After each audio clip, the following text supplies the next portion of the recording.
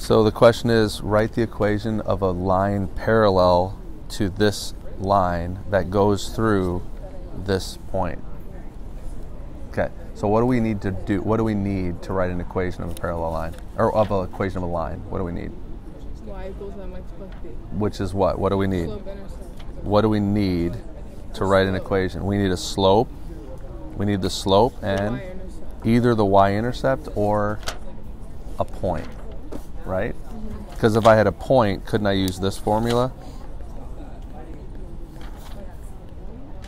So I either need this. I need. I definitely need the slope in both instances, but I either need the y-intercept or I need another point.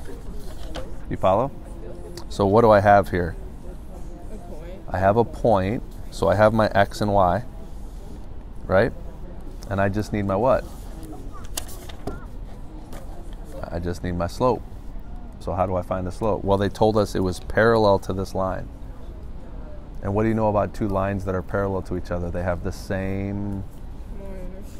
Nope. Two lines that are parallel to each other have the same slope. Two lines that are parallel have the same slope. So what do I need to find from this equation? I need to find the slope. So what's the slope of that line? Well, the easiest way to find the slope of that line is to put it in I already learned that. slope intercept form. Oh, good. So let's solve this. Let's solve this. It's not negative 2. The slope is not negative 2. Let's solve this equation for y and put it in this form so that we can find what the slope is. So to solve it for y, I subtract 2x, but I'm not done because I didn't get rid of what yet? The 5. So how do I get rid of 5? I don't subtract it. I divide. It's negative 2 fifths x plus 3. There's your there's your slope. So now I have what? I have the slope because they're parallel. And I have a point. Where do I put the negative 10?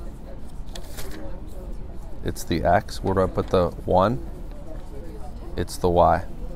So what's my equation? Y minus 1 equals negative 2 fifths times x minus a negative 10, which is what?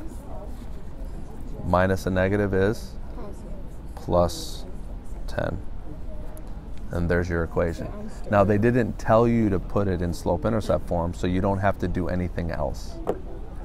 But if they told you, give me the equation in slope intercept form, then I would have to distribute this negative 2 fifths in and move the 1 over by adding 1 to both sides and be careful to do it right.